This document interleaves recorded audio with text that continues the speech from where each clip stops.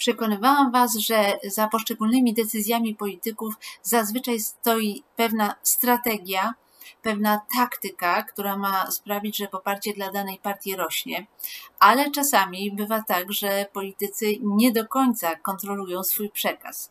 I dzisiaj na przykład y, usłyszeliśmy od Jarosława Kaczyńskiego, że ze strony tej władzy, tu jest cytat, która nieustannie łamie prawo, można się wszystkiego spodziewać, nawet zabójstw politycznych. Co tu dużo mówić? Jarosław Kaczyński e, opowiada bzdury i są to mm, najzwyczajniej w świecie pomówienia. Czy to oznacza, że prezes ma jakąś szczególną strategię? Nie. E, spin doktorzy w PiSie łapią się za głowę, bo uważają, że tego typu zaostrzenie retoryki e, wcale PiSowi się nie przysłuży, a tak naprawdę awantury pod Sejmem, te związane z próbą wejścia do Sejmu przez Mariusza Kamińskiego i Macieja Wąsika, nie dają korzyści politycznych, także z tego powodu, że skierowane są głównie do twardego elektoratu. Oczywiście Jarosław Kaczyński zakłada, że w wyborach samorządowych i europejskich ten twardy elektorat jest naprawdę bardzo ważny i trzeba go utrzymać w wzmożeniu. Dlatego trzeba mówić o zabójstwach politycznych, o wielkich, strasznych torturach gestapo, którym był poddawany Mariusz Kamiński i tak dalej, i tak dalej, i tak dalej. Rozsądnie myślący człowiek, no chyba zorientuje się, że e, to są jakieś rzeczy kosmiczne, ale oczywiście Jarosław Kaczyński uważa, że to utrzymanie wzmożenia twardego elektoratu jest ważne, bo frekwencja w tych wyborach samorządowych i europejskich jest niższa i to jest pojedynek na twarde elektoraty. Jest tylko jeden problem i wielu spin doktorów pisze to wie, ale czasami prezes nie do końca jest kontrolowalny, a mianowicie jeżeli się wszczyna tego typu awantury, to to zawsze jest miecz obosieczny, bo może mobilizować nasz twardy elektorat, ale może też mobilizować elektorat przeciwników.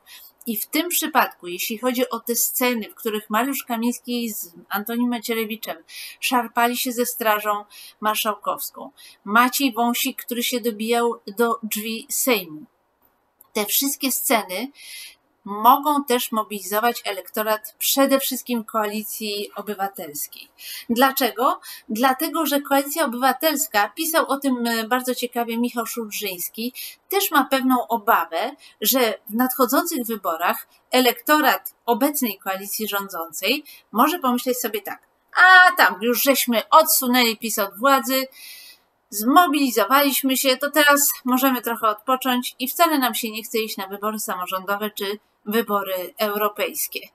Tego koalicja obywatelska się obawia. Ale jak zobaczy te dramatyczne sceny, jak Mariusz Kamiński się szarpie ze Strażą Marszałkowską, no to rzeczywiście może dojść do wniosku, oho, jednak walka trwa i trzeba nadal mm, działać w tym kierunku, by PiS odsunąć od władzy. W tym sensie te posunięcia obecne Prawa i Sprawiedliwości są, mogą być odczytywane jako korzystne dla koalicji obywatelskiej. Oczywiście yy, spójrzmy na to nie z punktu widzenia sympatyka jednej czy drugiej partii, tylko z punktu widzenia czystej taktyki politycznej. Faktycznie, jeżeli PiS upiera się, ja uważam, że jest inaczej, ale z, odłóżmy to na chwilę na bok. Jeżeli PiS upiera się, że Mariusz Kamiński, Maciej Wąsik są nadal posłami, no to rzeczywiście zgodnie z tą strategią należałoby spróbować przynajmniej raz wejść do Sejmu, żeby pokazać, iż nadal PiS trwa właśnie na tym stanowisku. I sam ten pomysł nie był zły. Co było złe w tym?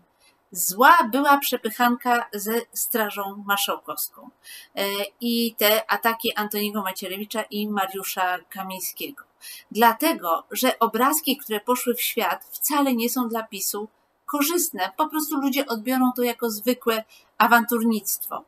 Gdyby oni po prostu ruszyli mm, do Sejmu, próbowali wejść, marszałek Hołownia wydał polecenie, żeby ich nie wpuścić. Oni potem urządzą konferencję i będą narzekać, jak straszne rzeczy się dzieją, bo marszałek ich nie wpuścił.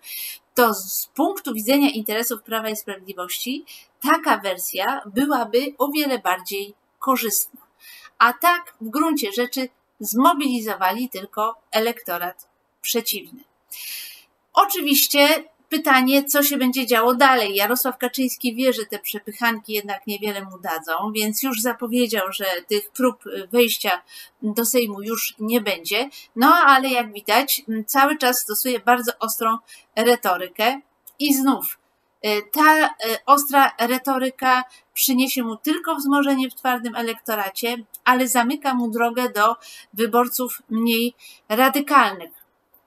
Czy to jest słuszna taktyka? Okaże się pewnie e, w wyborach. Natomiast e, myślę, że Jarosław e, Kaczyński nie do końca dobrze identyfikuje sytuację, ponieważ żył przez długie lata w przekonaniu, że wygrywa wybory, bo rzeczywiście wygrał wybory w 2015 roku i wygrał wybory w 2019 roku, że wygrał wybory właśnie dzięki tej ostrej retoryce. Ja bym postawiła inną tezę on wygrał te wybory pomimo tej retoryki. Wiele rzeczy się na to złożyło. Przede wszystkim y, w 2015 roku Platforma Obywatelska była zużyta y, rządzeniem. Jarosław Kaczyński dokonał słusznego zabiegu, wystawiając nowe osoby do pierwszego szeregu, takie jak Beata Szydło, takie jak Andrzej Duda. Przekonał ludzi, że mm, proponuje im rzeczywiście bardzo bogaty program socjalny, który zrealizował, bo 500 plus weszło w życie.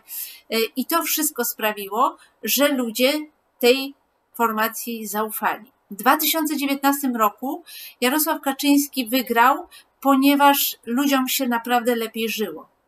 Rządy PiS 2015-2019 przypadły na czas niewiarygodnej koniunktury światowej. I e, budżet miał pieniądze na to, aby wypłacać te właśnie e, rozmaite bonusy socjalne i Polacy po prostu uważali, że wszystko idzie w dobrym kierunku, a poza tym widzieli po drugiej stronie, jeśli chodzi o opozycję, że jest ona podzielona, nie ma jednoznacznego lidera e, i obawiali się też swego rodzaju chaosu, więc postawili na prawo i sprawiedliwość jeszcze raz. Ale znów, nie ze względu na ostrą retorykę Jarosława Kaczyńskiego czy jego walkę z sądami, nie, patrzyli tylko na kwestie socjalne, na kwestie materialne. I Jarosław Kaczyński doszedł do wniosku, że on może wszystko, że jego rodzaj rewolucji związanej z wymiarem sprawiedliwości y, właśnie ludziom się podoba. I się pomylił, poszedł za daleko, uznał, że y, jest całkowicie bezkarny. Właśnie wybory w zeszłym roku pokazały, że ta emocja społeczna działa zupełnie inaczej. Dziś Jarosław Kaczyński, opowiadając o zabójstwach politycznych, co jest absurdem samym w sobie, znów w większym stopniu, moim zdaniem, mobilizuje elektorat y, opozycji, koalicji rządzącej niż e, opozycji, e, ale są takie sytuacje, w których spin doktorzy przychodzą na Nowogrodzką, tłumaczą prezesowi jedno, drugie, a potem prezes idzie korytarzem sejmowym i coś walnie, bo tak właśnie mu to przyszło do głowy mm, i taką miał emocję, którą chciał koniecznie wyrazić. Tak to właśnie się kończy, choć yy, być może w końcu spin doktorzy przekonają prezesa, że na dłuższą metę ta polityka bardziej służy mm, rządowi Donalda Tuska, ponieważ odwraca uwagę od problemów, którymi ten rząd będzie musiał się mierzyć, z bardzo trudnymi decyzjami. A ostra retoryka Jarosława Kaczyńskiego pozwala po prostu uciekać od y, tych trudnych pytań. Ale dla prezesa milej jest opowiadać swoje kocopałki, do których czuje się bardzo przywiązany, niż e, realizacja jakiejś skutecznej strategii politycznej.